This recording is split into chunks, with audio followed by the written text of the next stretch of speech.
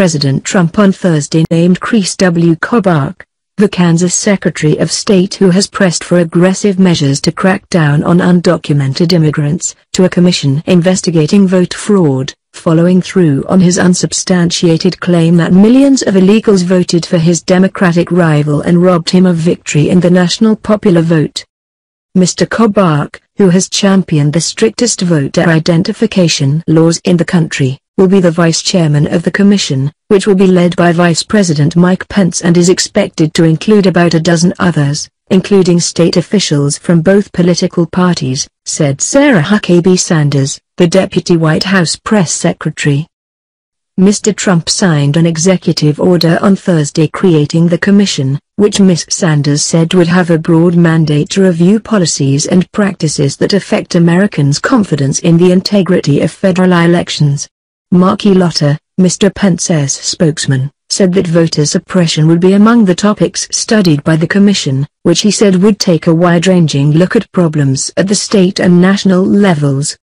But the order makes no mention of suppression or voting restrictions, specifying only improper or fraudulent registration and voting as issues to be explored. Democrats and civil rights groups condemned the panel as a taxpayer-funded witch hunt and the American Civil Liberties Union filed a legal request to the White House for records showing concrete evidence of fraudulent voting that would warrant the creation of such a commission. Continue reading the main story. The Trump White House The historic moments, head-spinning developments and inside the White House intrigue. President Trump is attempting to spread his own fake news about election integrity, said Dale Ho the director of the A.C.L.U.S Voting Rights Project. If the Trump administration really cares about election integrity, it will divulge its supposed evidence before embarking on this commission boondoggle. The commission was created at a tumultuous time in the White House, after Mr. Trump's abrupt firing on Tuesday of James B. Comey, the FBI director, who had been leading an investigation into possible ties between the Trump campaign and Russia. United States intelligence agencies have concluded that Russia worked to sway the election to Mr. Trump. Ms. Sanders said the group would produce a report for Mr. Trump next year on system vulnerabilities that lead to improper registrations and voting. Its roots lie in Mr. Trump's own long-festering grievances and his conviction that illegal voting including ballots cast by people who were registered to vote in multiple states, were not citizens or were impersonating people whose names had remained on voting rolls after they died reduced his margin of victory. There is no evidence to support Mr. Trump's claims, which have been discredited repeatedly by fact-checkers, that millions of people voted illegally in 2016. As a candidate, Mr. Trump repeatedly raised doubts about the integrity of the American voting system. After winning the election, he told members of Congress privately that 3 million to 5 million undocumented immigrants had voted illegally for Hillary Clinton, costing him the popular vote. And he promised to begin a major investigation. Voting officials in both parties and academics across the country have long rejected the notion that fraudulent voting is widespread, finding instead that it is a sporadic and uncommon occurrence that has had no discernible effect on election outcomes. Mr. Trump's own lawyers concluded as much about the 2016 contest, asserting in legal filings that it was not tainted as they sought to block recounts in Michigan, Pennsylvania, and Wisconsin. There are problems in the registration system that don't translate into fraud.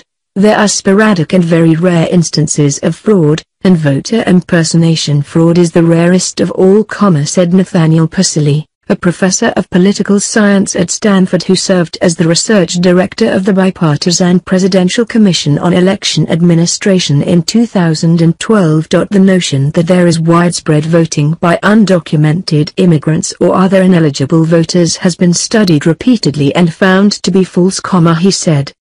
Mr. Kobach's influential position on the panel intensified the controversy over its creation particularly among immigration advocacy and civil rights groups, as well as Democrats who said they feared he would use the purge to try to prevent minority voters from casting ballots. Selecting Kris Kobach as vice chair reveals exactly the kind of discriminatory witch hunt the American people can expect from this commission, said Representative Nancy Pelosi, Democrat of California and the House Minority Leader. The President's Election Integrity Commission is clearly intended to accelerate the vile voter suppression efforts in states across the nation. Mr. Kobach was the driving force behind a Kansas law requiring new voters to produce a passport, a birth certificate or naturalization papers as proof of citizenship. He worked last year to disqualify the state and local votes of thousands of people who did not meet those criteria. He has advocated the proof of citizenship requirement at the federal level as well, alleging rampant voter fraud without producing proof of a widespread problem. Mr. Kobach dismissed the criticism of him as a silly reaction and said he had no preconceived ideas of what the commission would find. He argued that there had been no previous national effort to gather hard data, rather than survey-based research, to quantify voting problems. If there is no such thing as voter fraud, or voter fraud is insignificant, then the Commission will be able to confirm that, Mr. Kobach said in an interview. What are they afraid of? Why do they not want to know these numbers? Question mark.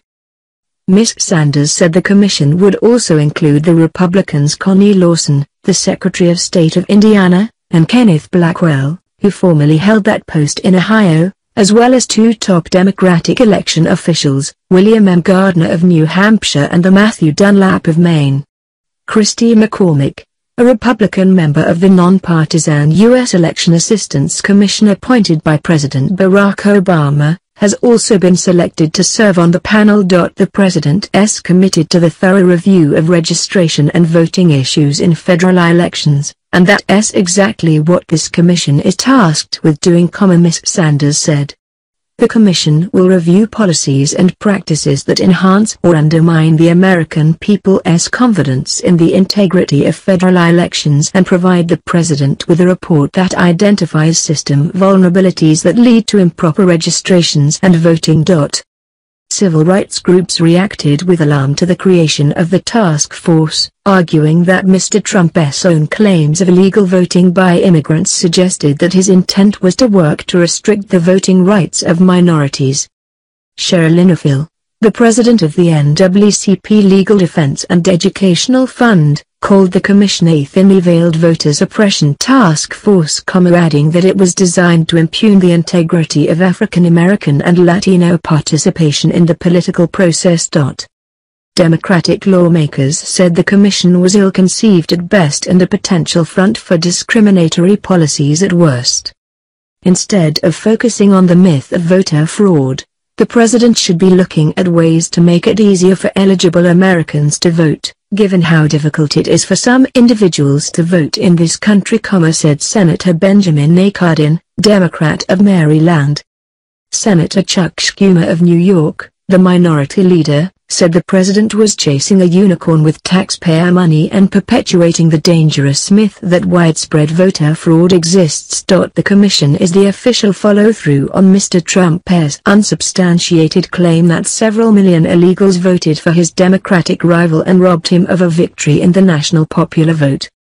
Mr. Kobach, who has championed the strictest voter identification laws in the country, will be the vice chairman of the commission, which is to be led by Vice President Mike Pence and is expected to include about a dozen others, including state officials from both political parties, the official said. The official spoke on the condition of anonymity to describe an announcement expected later on Thursday. Officials said Mr. Trump would sign an executive order on Thursday creating the commission, which they said would have a broad mandate to review policies and practices that affect Americans' confidence in the integrity of federal elections. Improper or fraudulent registrations, voting fraud and voter suppression are among the issues the commission will study, they said. One advisor said the group would spend about a year drafting a report that would take a comprehensive look at election issues that have preoccupied state officials for many years.